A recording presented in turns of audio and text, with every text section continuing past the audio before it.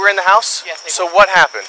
What gunshot? We, me and my mom, she just came back from getting um, a restraining order, Uh-huh. and he, he came out in the garage with his hand behind his back, and we thought he had a gun, and then he pointed We're at now me, getting another and then call in pointed at at his mom, my mom, and Okay. then he brought my, I ran next door, he brought my mom next door, we called 911, and then we ran out the back door. My sister with a gun. He already shot me in the leg.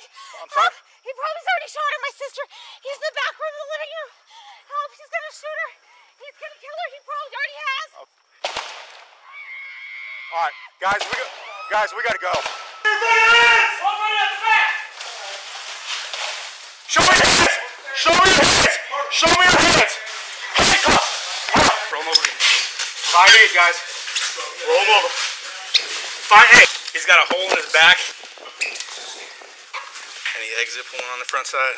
Anyway, you can see any Potter? We're in investigation mode. Everybody turn off their BWCs. Hey, I got a restraining order. Uh-huh. And I came back to get my stuff. This is your sister? And he came out with a gun. Go. Put him right here. Man, fire's rolling up. All right, fire's here.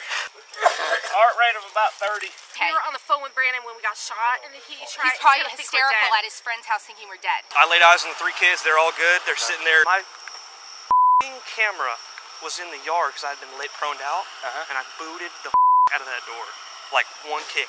Camera on the whole time. My camera was in that yard, oh. so I didn't get it, and I prone the dude Oh. out, and there's no video of it. Oh, really? Because Potter, because I kicked the door, Potter went in, I went in behind him. It's got squirting blood. Damn. No video of the whole thing.